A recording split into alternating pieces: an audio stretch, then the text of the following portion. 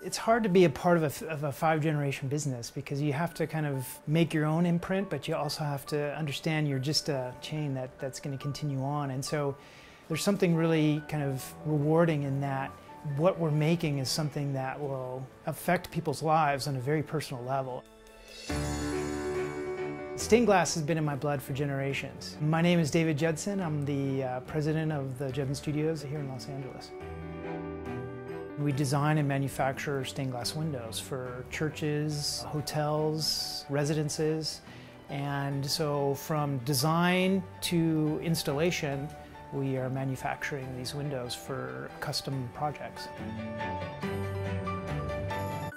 Well, when I was really small, this is what I wanted to do. This is where I loved to be. I loved uh, kind of uh, knowing that this was in my family and something I really wanted to be involved with. The Judson Studios uh, was founded in 1897 by my great-great-grandfather, and I'm now the fifth generation that's owned and operated the studio.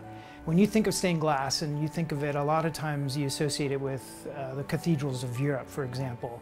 Um, these were originally drawn uh, to show figures in the Bible, to maybe tell stories about uh, the Bible to people who couldn't necessarily read or to bring in inspirational light. And so by designing images on glass, you can incorporate it into an architectural setting that allows light to come in and, and you know, create an environment that can't be done in any other art form or any other material. We just uh, recently completed a 3,400 square foot window for a church that was built in um, Leawood, Kansas, just south of Kansas City. And it's uh, nearly 100 feet by 40 feet, which is about the size of a basketball court. No window had ever really been made like this before. And so Tim and I, my, my uh, creative designer, we found a gentleman named uh, Narcissus Quagliata, who um, Narcissus is kind of the most uh, knowledgeable about fused glass. And so we've come up with a technique of painting on the glass using uh, fused glass to create a very contemporary um, uh, method that really has not been seen before and uh, I think will change the future of stained glass. By combining traditional techniques with fusing with the capabilities of technology, those things I think are what we've really focused our energies on here at Judson Studios to really push the envelope and create new possibilities in what people think of as stained glass. It attracts a certain personality and people just really love to be involved with it. And that's, that's the people that stay here the longest are the people that are passionate about it.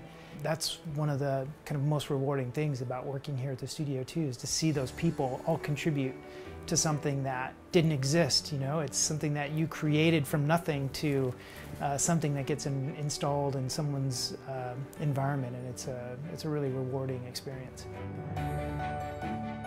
For me personally, what I want to kind of leave behind is that this perception that stained glass is built on a tradition that can also create something in a modern day audience. It just doesn't have to be necessarily limited to a, to a church or a religious institution. And so I hope that we can enter this artistic world not only through fine art in the galleries, but also in public spaces where people feel like stained glass has kind of just improved their life just at least for a few moments uh, in a day.